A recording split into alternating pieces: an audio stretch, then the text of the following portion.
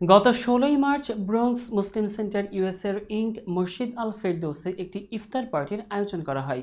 এই আয়োজনে মসজিদ কমিটির প্রেসিডেন্ট মাওলানা আব্দুর রহমান খান, সেক্রেটারি মোহাম্মদ সুলাইমান আলী জানান, মসজিদটি একটি বহুতল ইনস্টিটিউট হিসেবে আকার ধারণ করবে, যেখানে স্বাস্থ্য, শিক্ষা, আবাসন থেকে শুরু করে সর্বক্ষেত্রে সকল মুসলমানের সুযোগ সুবিধার ব্যবস্থা করা হবে।